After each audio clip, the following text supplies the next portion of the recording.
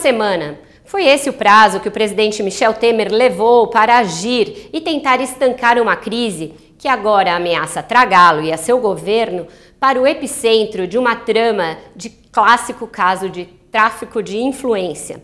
Na sexta-feira passada, o ministro da Cultura, Marcelo Caleiro, pediu demissão.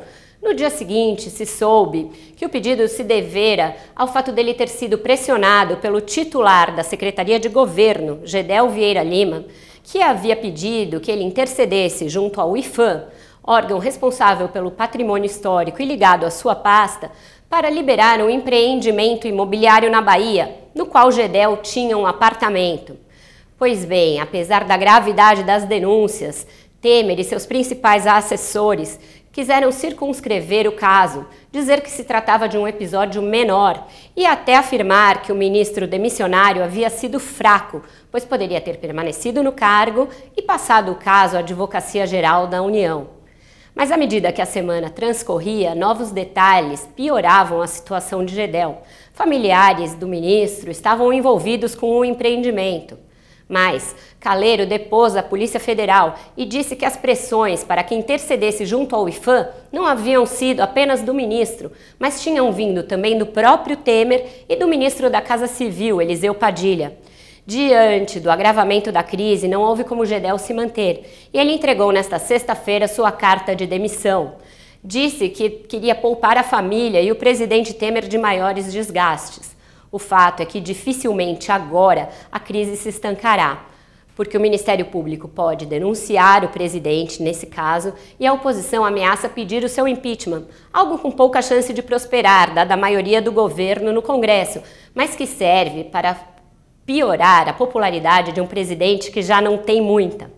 Pois bem, se no Palácio a semana foi toda da crise Gedel, no Congresso não foi menos tumultuada deputados correram para aprovar uma anistia não só ao Caixa 2, mas a toda e qualquer contribuição por dentro e por fora de campanhas a partidos e políticos.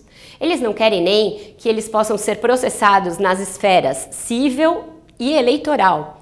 Isso se deve ao temor generalizado com a delação de mais de 70 executivos, ex-funcionários e funcionários da Odebrecht, que ameaça implicar partidos de A a Z no esquema de corrupção na Petrobras e em outros casos. Dificilmente a manobra passará. Houve uma forte reação nas redes sociais e também de expoentes do Judiciário, como o juiz Sérgio Moro, e do Ministério Público. Os deputados vão tentar voltar à carga na semana que vem, mas há manifestações marcadas para o fim de semana e também para a semana que vem na frente do Congresso. Não vai ser fácil dar as costas para o que a sociedade acha um absurdo. Com o governo e os deputados presos a seus próprios interesses, a pauta da agenda econômica do país ficou meio paralisada. A PEC do teto passou em primeiro turno no Senado, é verdade, e deve ser aprovada sem maiores dificuldades em segundo turno. Mas e a reforma da Previdência? Nada. E os indicadores da economia?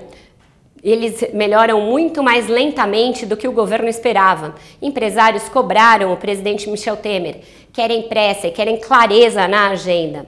Vai ser difícil enquanto o presidente estiver às voltas com auxiliares tão complicados. Afinal, foi o sexto ministro demitido, um por mês num governo que já é provisório.